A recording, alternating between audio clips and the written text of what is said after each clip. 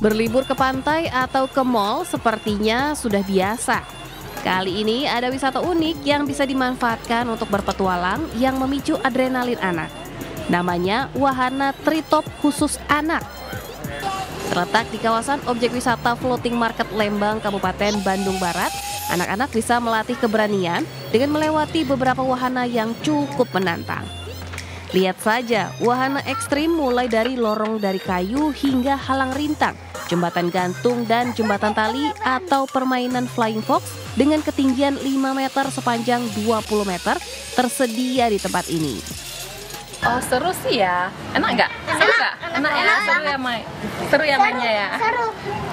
Di main flying fox di rumah pohon, perasaannya tegang dan senang.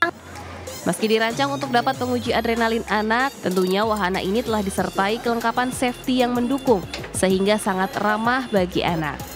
Dan untuk bisa merasakan wahana tersebut, tiket masuknya dibanderol Rp20.000 dengan masing-masing wahana di dalamnya di kisaran Rp20.000 hingga Rp35.000.